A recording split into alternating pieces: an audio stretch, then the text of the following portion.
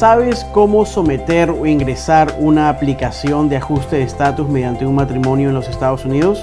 Hoy en tu canal de inmigración te explicaremos paso a paso cómo hacerlo.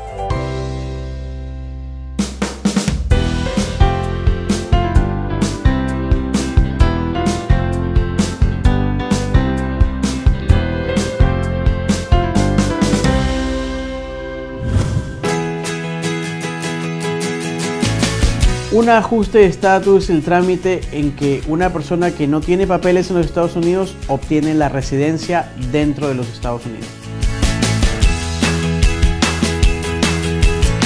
Definitivamente, no solo un ajuste de estatus, pero sino todos los trámites de inmigración y hasta ir a una corte de deportación, una persona no necesita un abogado, no es una obligación, no es un requisito indispensable.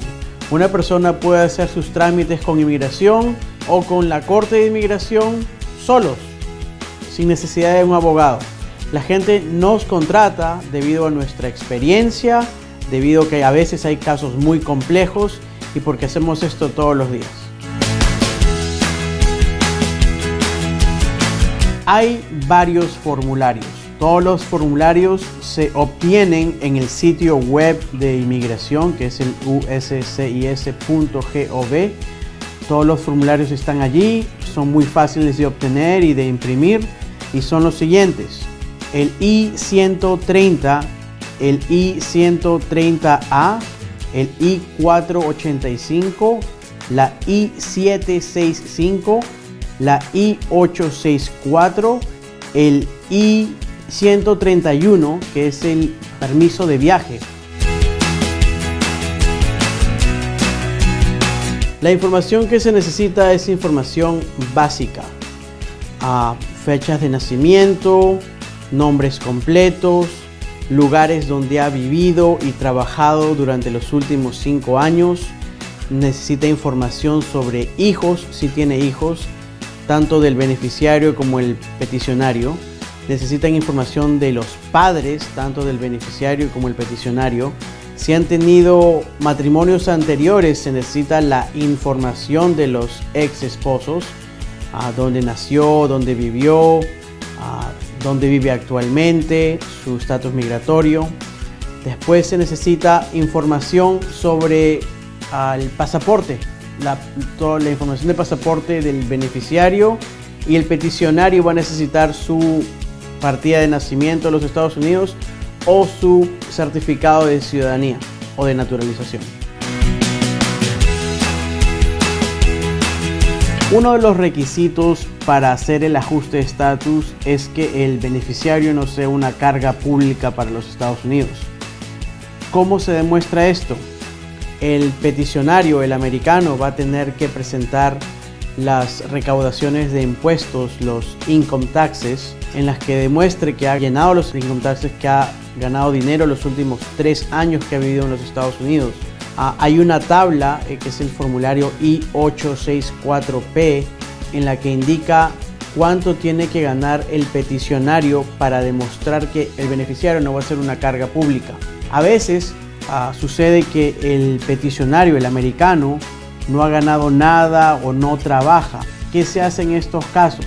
No es el final, se tiene que llenar otro formulario, otro formulario I-864 para un copatrocinador. El copatrocinador también va a tener que demostrar que gana lo suficiente y ayudar a demostrar que el beneficiario no va a ser una carga pública. Uno de los requisitos indispensables para un ajuste de estatus es que el beneficiario haya ingresado legalmente a los Estados Unidos. Cuando decimos legalmente es ha tenido que ingresar con su nombre, con su pasaporte, con una visa con su nombre y que lo demuestre. Hay un sello en el pasaporte y hay un formulario que es el I-94 que demuestra que la persona entró legalmente a los Estados Unidos. No importa si ya el tiempo caducó. Si está casado con un americano, ah, eso no va a ser un problema para obtener su ajuste de estatus. Si la persona no ingresó legalmente a los Estados Unidos, hay una excepción a la regla según el Estatuto 245I. Esto es una regla que ya lleva muchos años, es para las personas que han tenido una petición de residencia o petición por empleo antes del 30 de abril del 2001 y que han estado en los Estados Unidos desde antes del año 2000. Son muy pocos los que califican para esta excepción, pero hay, personas que lo podrían hacer. Ahora, si la persona no califica para la ley 245i porque no entró legalmente, va a tener que hacer un proceso consular y no va a poder hacer un ajuste de estatus. Todos los documentos que hay que presentar para un ajuste de estatus tienen que estar traducidos al idioma inglés.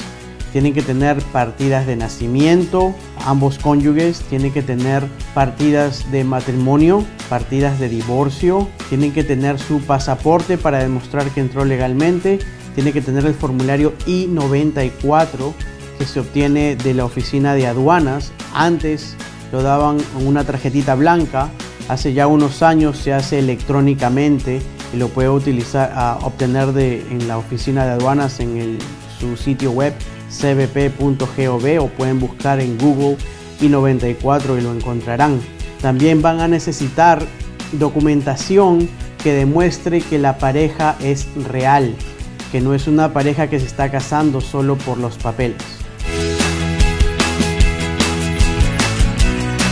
Definitivamente que sí se puede viajar mientras uno está en un proceso de ajuste de estatus es a través del formulario I-131 y se llama el Advance Parole. Algunas personas tienen miedo a viajar debido a que lo que está sucediendo actualmente en los Estados Unidos, pero con ese permiso al gobierno de los Estados Unidos prácticamente le da la alfombra roja para que usted pueda salir y reingresar sin ningún problema. Obviamente, si usted ha tenido problemas con la ley, problemas con inmigración anteriormente, esos son los casos más delicados y ahí sí recomendamos que no hagan este tipo de casos solos, sino que se asesoren con un abogado de inmigración. Las entrevistas de inmigración son fáciles siempre y cuando la pareja esté bien entrenada. Cuando digo entrenada no me refiero a que tienen que hacer cosas ilegales, que tienen que prepararse como si fuera el último día de sus vidas. No, tienen que ser listas para las preguntas que le van a hacer. Pueden ser preguntas íntimas, pueden ser preguntas del día cotidiano, pueden ser preguntas que se le hacen a una pareja normal. Pero de todas maneras hay que estar preparado. Ah, hemos hecho videos anteriormente sobre las preguntas específicas que hace inmigración y les recomendamos que los vean. Hay casos de ajuste de estatus que son mucho más complejos, mucho más difíciles. Hay casos que ah, personas creen que pueden hacer el ajuste de estatus solos y lo empiezan a hacer y se meten en un hueco y se meten una soga al cuello porque están empezando algo mal. Ah, si su caso es un caso complejo, si su caso tiene algunos baches que usted, ah, sin ser abogado de inmigración, sabe que van a pasar. Si usted ha tenido problemas con inmigración en el pasado o problemas con la ley, le recomendamos que ese tipo de casos sí los lleve donde un abogado porque podría estar haciendo algo contraproducente al hacer un ajuste de estatus y podría terminar en un caso de deportación. Gracias por seguirnos en tu canal de inmigración. No olvides suscribirte y dejarnos tus comentarios. Nos vemos la próxima semana.